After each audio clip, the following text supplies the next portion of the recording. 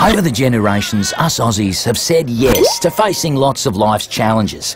When saving lives needed new attire, yes, the budgie smuggler proved we could aim higher. Then drying clothes was a danger to sport until we said, yes, that's an easy problem to sort. Next, when a dicky ticker couldn't keep the pace, yes, one of our own proved he was an ace. And seatbelts weren't the best for an ankle biter. But then, yes, an Aussie invention held them in tighter. Recently, two of our own developed the app with a map, so getting lost doesn't lead to a scrap. Now, changing climate change is our biggest test of all. So, Australia, will we rise or will we fall? Let's be the generation to say yes to a plan that finally shows the world that we can.